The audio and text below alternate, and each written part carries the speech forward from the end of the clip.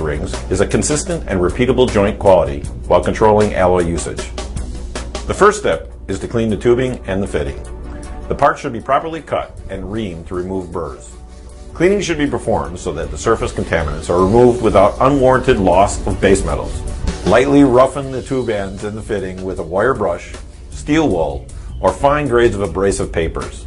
Any residual particles in the joint surface should be avoided, and any residue remaining after mechanical cleaning must be removed.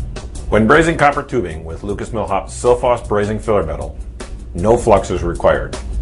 The phosphorus in the Sil-Fos brazing filler metal gives them a self-fluxing ability when used on copper. However, it is required that a flux be used when brazing other copper alloys such as brass or bronze. The next step is to insert the ring, making sure that the ring seats against the bottom of the fitting.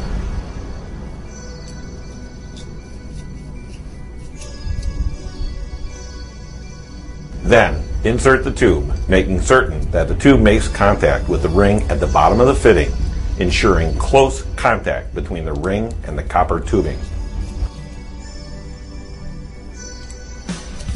Support the tube and fitting assembly to provide a consistent gap around the entire circumference of the joint. We are using an oxygen acetylene torch.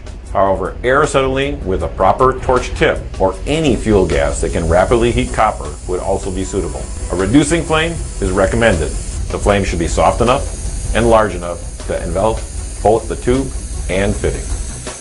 Begin heating with the flame perpendicular to the tube. The copper tube conducts the initial heat into the fitting for even distribution of heat in the joint area. The amount of heating depends upon the size of the joint. Experience will determine the amount of time needed. Next, move the flame onto the fitting. Then direct the flame from the fitting back onto the tube a distance equal to the depth of the fitting. The alloy flows from the inside to the exterior via capillary attraction. Heat towards the top for a second or two to pull the alloy through.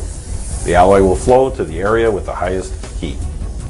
After brazing, inspect the joint for a small, uniform fillet at the brazed joint. The presence of a fillet